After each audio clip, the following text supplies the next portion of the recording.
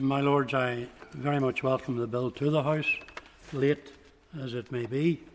Uh, like Lord Storey, I know very little about the internet. I certainly know less about the sites that we're talking about tonight.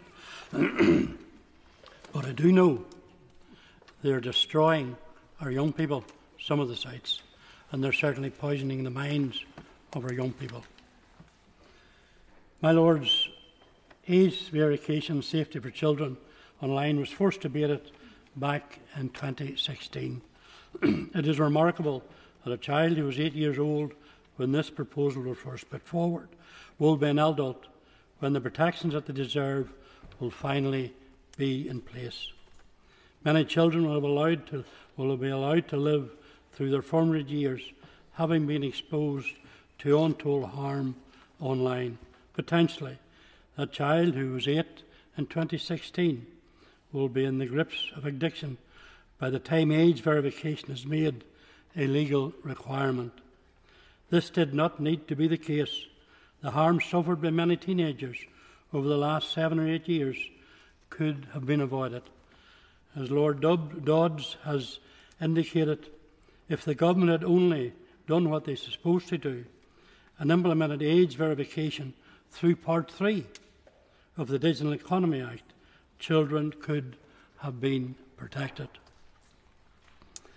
And, my lords, according to research by DCMS, 80% of children aged 6 to 12 have viewed something harmful online, while over 50% of teenagers believe that they have accessed illegal content online. We cannot allow children to continue to be let down.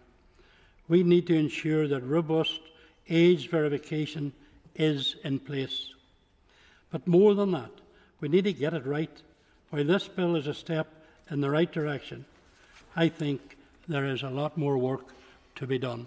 And I think this is an important bill, but it's also important for this House that we get the bill right. Firstly, we need to ensure that age verification on pornography sites will be brought in on this occasion. The government cannot be allowed to sidestep the issue. A clear commencement clause needs to be placed into the bill. Secondly, we need to ensure that age verification is in place, not just for children accessing pornography, but that the age of those acting in content is also verified. User to use pornography websites are simply a hotbed of illegal material and children's survival sexual abuse that needs to be stopped in this bill. If it includes clear age verification for those involved in the content, will be a valuable tool ensuring children are not exploited online. Thirdly, we need to move to protect women and girls from the effects of online pornography. Harmful pornography content promotes violence against women and girls. Evidence show that excessive consumption of some legal pornography material can result in offenders viewing illegal child sexual abuse material.